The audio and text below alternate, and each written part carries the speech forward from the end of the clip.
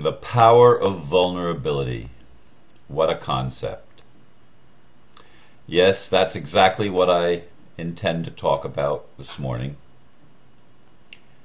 As I said yesterday, I've been in a workshop this weekend. I'm still in the workshop. Um, I'll be going back today for the conclusion. And one of the things that has always amazed me about these workshops is how powerful people are when they are willing to tell the truth. So many times in our world, so many people in our world, we're afraid to tell the truth. Politicians can't tell us the truth. Of course, that's because they have something to hide. But the average person seems to follow suit with this idea that if I tell people what's really going on, how I really feel, what I really think, what has really happened to me, that somehow they're not going to accept me, somehow that's going to show me in a in a light as being somehow weak and less than what I want to be. And so we wear masks, we put on a facade, we develop personas make us feel acceptable. The problem is they're not real.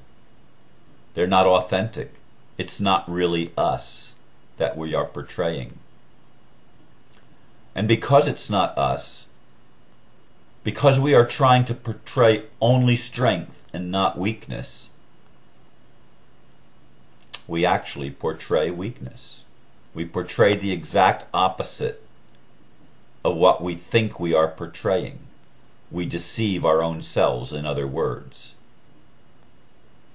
As I said, it is amazing to me how powerful and how lovable and how wise people appear and actually are when they step into that place where they say, I don't care what you think about me anymore. Whatever your opinion is doesn't matter. This is what I've experienced. This is what I feel. This is who I am. When we do that, something dramatically happens. For one thing, we give up on the idea that there's some place safe to hide. There is no place to hide from the truth. There never was. It's always been an illusion that we've convinced ourselves somehow if I just keep this part of me silenced and hidden, somehow everything's going to be all right. But as we look at uh, the world around us, obviously everything's not all right. As I said, politicians, they never tell us the truth. Of course, they play a double game, a dual game, where they pretend to be serving people but in actuality, they're not serving people. They're serving moneyed interests. Interests of people that want to rule the world and control all the issues that happen in the world, all the politics, if you will. But we're watching, in this day and age, we're watching that facade fall. We're watching this game being exposed for what it is. It's the grand lie. It's the grand lie. And as we watch this, we have a choice. What are we going to do with the collapse of our culture based on lies? What are we going to do with that collapse? I'm inviting you and everyone that listens to this to make the choice to stand in your personal power and to reach that place in your life where you're willing to be vulnerable. I'm telling you, relationships die because of the unwillingness of one party or the other, or both, to be vulnerable in the relationship so that there is no intimacy. All that you ever are willing to show to the other person is an image that you think is acceptable, but you're never really willing to tell the truth and to be authentic in the relationship. There can be no intimacy without authenticity. It is an absolutely prerequisite.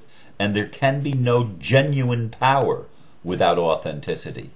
What you've experienced, what you feel, what you think, these are your expressions, and to express them truly is the only way out of the dilemma of feeling not good enough, of feeling weak, of feeling like you're a victim. It's the only way out is to tell the truth. The only way out. That's why Jesus and, and other great teachers throughout the ages have said, the truth shall set you free. It really does. But somehow it's hard for us to accept that even the worst truths, when told, set us free.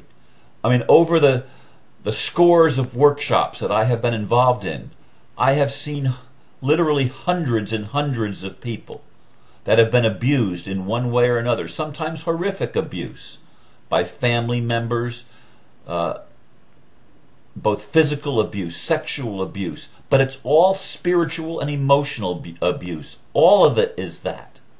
All of it is that. Religions are abusive when they teach you that if you're this way, you're not acceptable. You can't be loved if you're this or that. I'm telling you, that is total BS. It's baloney.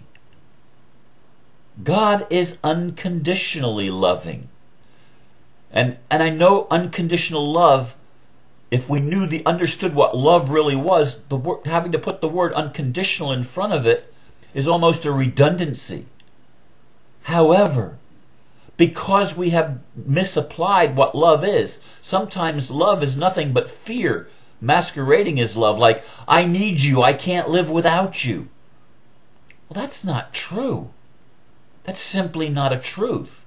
That's fear saying, I'd be lost. I'd die if you weren't in my life, if you weren't in my world. Well, that's simply, I mean, I mean, that may be your belief, but it's not a truth. You only need air and food and water and shelter and touch, especially when you're a little one. A baby will die without touch. That's the truth. That's the truth. But you don't need any particular person. Do you need people? Yes, you do. Do you want to have people in your life? All of us, all of us are crying for love. But I'm telling you, the way that we've gone about getting that love is often by wearing masks.